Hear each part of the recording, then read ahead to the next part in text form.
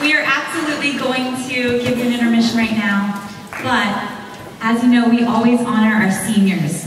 We have two seniors that actually tonight is their prom. So we're gonna bring them out now to make sure they can get to prom on time.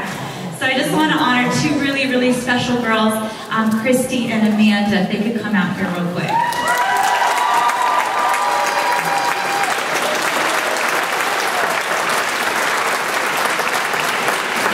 We're proud of you. We have a little something prepared that we'd like to share. I'm going to say just a few words about these girls I've known a really long time.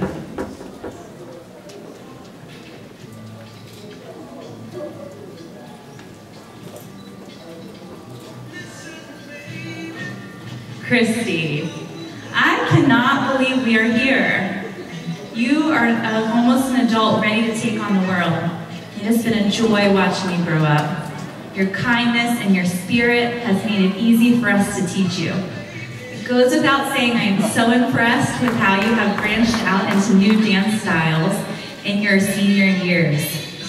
Kristy, I will cherish our time in all of these ballet classes all of these years long. I'll look back fondly on the time we had together. As you move on, your Visions family will be cheering you on every single step of the way. Congratulations.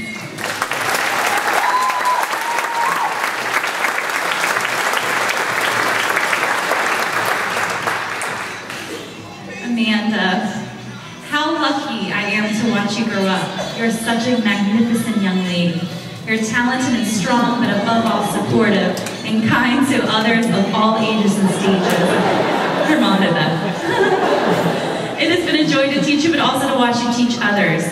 I'll be shocked if you aren't an arts educator of some capacity in the future. Amanda will be attending Millikin University and studying in their prestigious musical theater BFA program. If you're in the show tomorrow, you're going to get to see her really sing her heart out.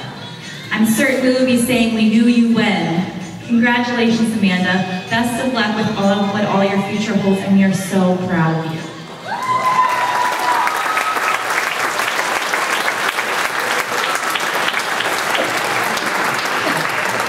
Practice the sashes.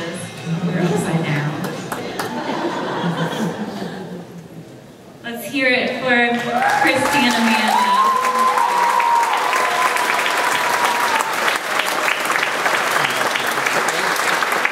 We'll just hold about a 10 minute intermission and then we'll see you back for more fun. Thank you.